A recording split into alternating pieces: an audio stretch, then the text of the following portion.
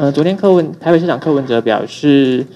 及其 A B 的购买相关问题，中央是没有采购计划吗？像郭郭台铭在进疫苗的时候都有规则，一周进多少多少都。可以预告，但中央都不跟地方政府说，这部分是不是沟通上面有一些出入呢？这边请部长想要说明一下，谢谢。一样，所有的疫苗我们都是到要到货的时候再跟大家做报告了哈。那每一种厂牌都有不同的理由，哦，都有一些延迟的一些情形也都有，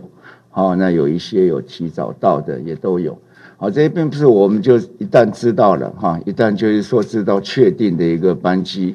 那上了飞机有跟大家来做报告，那讲着我就觉得这个就很奇怪，就因为进来以后不会说今天进来了，明天就发下去，它有一个封签检验的时间，所以进来之后如果要估自己也可以估得出来了，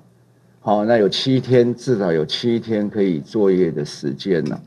好，所以因为到货，我我我早一个月跟大家讲，那一个月可以准备没有？不是说是疫苗，并不是说到了货第二天就发下去，所以大家会准备不及。那到了货，我们会规划好，然后通知地方说肯定要开多少的量能，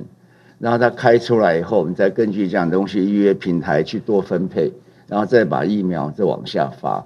好，所以不是哈即到即发了哈。